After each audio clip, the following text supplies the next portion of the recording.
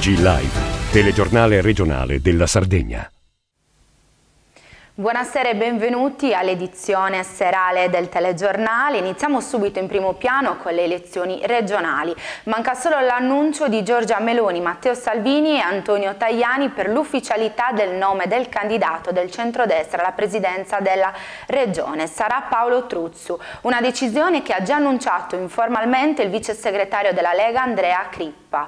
C'è da aspettare domani per la reazione del Partito Sardo d'Azione che riunirà a Oristano la direzione nazionale. Potrebbero aprirsi nuovi scenari. Sentiamo i dettagli nel servizio di Emanuele Concas. Ormai è solo una formalità l'annuncio del centrodestra che consacrerà ufficialmente il nome del sindaco di Cagliari Paolo Truzzu come candidato alla presidenza della regione. Il suggello arriva dall'inchiesta della magistratura con il decreto di sequestro di beni per 350.000 euro al presidente della regione Cristian Solinas, nei filoni d'inchiesta che vedono coinvolti anche il consigliere regionale del PSDAZ Nanni Lancioni, l'imprenditore Roberto Zedda e il consulente di Solinas Cristian Stevelli. È chiaro ormai che la Lega non può più difendere ad oltranza il nome dell'ormai ormai ex governatore che si difende sostenendo di essere vittima di un teorema giudiziario. Ma le dichiarazioni del vice segretario della Lega, Andrea Crippa, lasciano spazio a poche interpretazioni. Oggi si decide, il candidato sarà Truzzo, ha detto. Salvini da Benevento difende Solinas. Anch'io sono a processo, rischio 15 anni di carcere perché ho bloccato gli sbarchi. Se la politica va al tempo che una certa magistratura vorrebbe, smetterei di fare politica, ha detto il ministro delle infrastrutture. Scontato dunque il via libera a Truzzo da tutte le componenti della coalizione coalizione, ma c'è da attendere la direzione nazionale del PSDAZ che si riunirà domani a Oristano per decidere il da farsi, stare con il centrodestra, voltargli le spalle e correre con Soru o da soli. L'ipotesi più accreditata è quella di una diligente presa di coscienza. Da soli sarebbe difficile entrare in consiglio regionale e sarebbe la prima volta nella storia dell'autonomia e sarebbe dunque meglio stare nell'alveo del centrodestra, ma l'anima oltranzista sosterrebbe l'ipotesi di una corsa in solitaria dei quattro umori. Per la decisione finale bisogna Bisognerà dunque attendere domani, visto che tra domenica e lunedì dovranno essere presentate le liste nei tribunali delle otto circoscrizioni elettorali e non c'è più tempo per trattative e rinvii. I 5 Stelle sono fuori dal Consiglio Comunale di Sassari con l'uscita formale dal movimento dei suoi quattro rappresentanti, annunciata questa mattina a Palazzo Ducale, in contrasto con i vertici regionali sull'appoggio alla Giunta Campus. Il servizio di Fabio Fresi. 5 Stelle, addio. Lo hanno annunciato a Sassari il presidente del Consiglio Comunale Maurilio Murru, l'assessore alla cultura Laura Useri ed i consiglieri Patrizia Zallo e Federico Sias, che confermano il loro appoggio all'amministrazione campus, nonostante le richieste dei vertici sardi dei Pentastellati che chiedevano loro il ritiro dell'appoggio dopo l'ingresso dei grillini nel campo largo in vista delle elezioni regionali del 25 febbraio, abbandonando così un movimento nel quale hanno sottolineato non si riconoscono più Oggi il gruppo consigliare del Movimento 5 Stelle annuncia l'uscita dal partito 5 Stelle. Eh, ormai il movimento non esiste più, è venuto fuori un partito, sono state violate tutte le regole, non esiste più nessuno dei valori fondanti del Movimento 5 Stelle e quindi con eh, grande, eh, devo dire, dispiacere eh, usciamo da questo partito eh, che non ci rappresenta più. Un abbandono che è anche un attacco diretto al coordinatore regionale Ettore Licheri, del quale sono stati sottolineati gli insuccessi. Il coordinatore regionale, che è l'avvocato liquidatore del Movimento 5 Stelle, eh, ha raggiunto il suo obiettivo. Eh, anni di fallimenti eh, che dal 2020 vanno avanti, dalle supplettive perse a Sassari, dai, comuni, dai quattro comuni amministrati persi, dalla, ehm, dalla fuoriuscita nostra di oggi nell'ultimo comune eh, nel quale il Movimento 5 Stelle rappresentava una maggioranza, nella seconda città della Sardegna. Bene, se questo è il lavoro che doveva fare, mi complimento con lui. I quattro fuoriusciti hanno anche formalizzato in Consiglio Comunale la costituzione di un nuovo gruppo dal nome Sassari Futura, mentre Laura Oseri ha categoricamente smentito le voci che la davano come candidata per le regionali in una lista del centrodestra. Interlocuzione ancora in corso invece per Murru, che scioglierà le riserve nei prossimi giorni.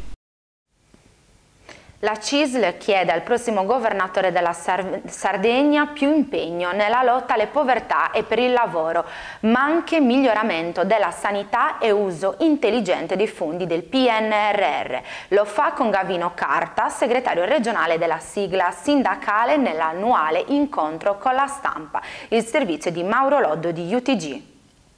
Garanzie nel lavoro, impegno a ridurre la povertà, ma anche più sostegno al settore della sanità. Queste le richieste della CISL alla prossima amministrazione che governerà la Sardegna. Nessun programma enciclopedico richiesto alle forze politiche che comporranno il Consiglio regionale, ma la volontà di realizzare riforme istituzionali diventate, secondo CISL, fondamentali per il rilancio dell'isola. Il tema del lavoro e il tema dell'inclusione sociale come temi prioritari. Esiste un tema che riguarda l'impoverimento della componente lavoro in questa regione, noi abbiamo livelli di disoccupazione ed inattivi rispetto, rispetto al, al, lavoro assolutamente eh, elevati, abbiamo un tema di sussistenza, quindi delle persone, delle famiglie, per lavoratori che con un reddito non riescono a portare avanti le famiglie. Il tema quindi della sanità, prima di tutto la salute per i cittadini, un tema assolutamente complesso e che attraversa l'intera penisola ma che ha delle punte veramente gravissime di, eh, di difficoltà e di non disponibilità di questa, di questa assistenza per i cittadini in Sardegna. Considerata la grande disponibilità di risorse lasciate dalla giunta Solinas, l'appello della CISL sarda alla classe politica futura è quella di potenziare il sistema socio-economico dell'isola, favorendo l'aggiornamento delle competenze. Altra priorità suggerita dalla sigla sindacale è promuovere un piano straordinario per rilanciare il lavoro, con l'avvio di politiche territoriali in grado di rafforzare le imprese, riducendo le diseconomie esterne ai processi produttivi. Audizione alla Commissione parlamentare per il contrasto degli svantaggi derivanti dall'insularità del Ministro degli Affari regionali e autonomie Roberto Calderoli. Sentiamo cosa ha detto. Il governo sta preparando un disegno di legge per lo sviluppo delle isole minori marine, lagunari e lacustri. Lo ha annunciato il ministro per gli affari regionali e le autonomie Roberto Calderoli alla Commissione parlamentare per il contrasto degli svantaggi derivanti dall'insularità. L'esponente del governo Meloni ha annunciato che includerà misure di crescita specifiche per queste isole, considerando il loro valore unico dal punto di vista naturalistico, ambientale e culturale. Si sta anche valutando, ha detto, la possibilità di istituire un ministro per le isole.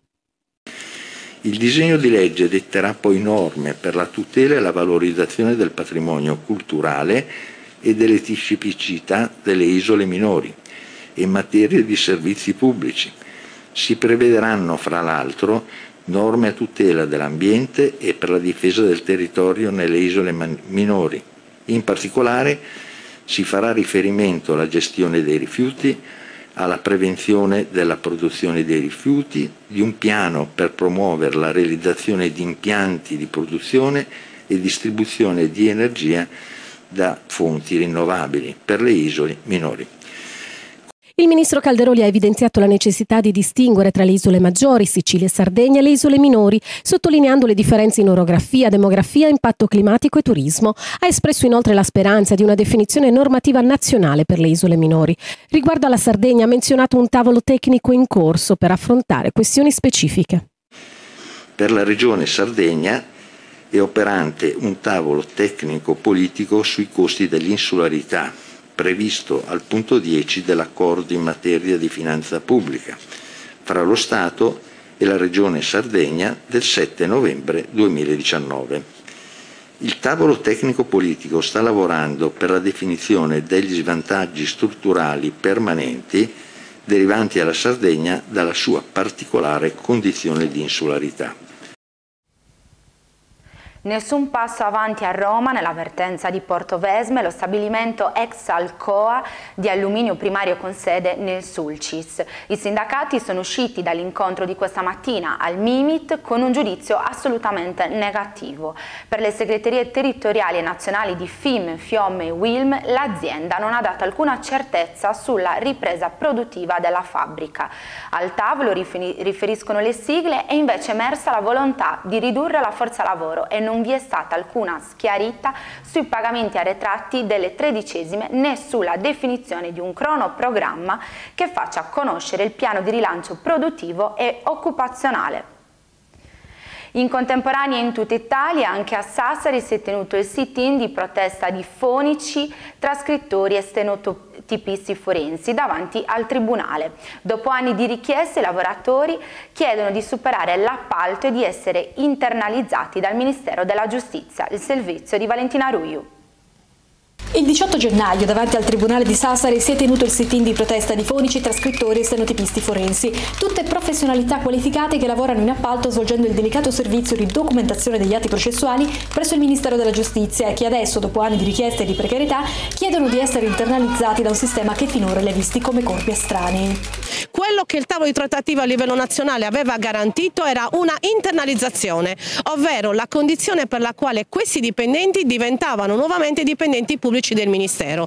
Purtroppo si è arrivati ad, una, ad uno stallo, non, c'è più diciamo, la volontà, l'interesse neanche a convocare il tavolo e in più aggiungiamo che l'ultima modifica della legge di bilancio del 2024 con la contrazione delle, delle risorse economiche da destinare a questo servizio chiaramente produrranno degli effetti negativi sui dipendenti in forza appunto di una contrazione dell'appalto stesso. Perderanno quindi parti della retribuzione e parti dei loro diritti. Sullo sfondo si staglia la riforma Cartabia, che col processo penale telematico rischia di generare ripercussioni sui livelli occupazionali e salariali attuali e di alimentare la confusione, già che i lavoratori in appalto lavorerebbero con l'ausilio di strumenti informatici sui quali non hanno ricevuto un'adeguata formazione.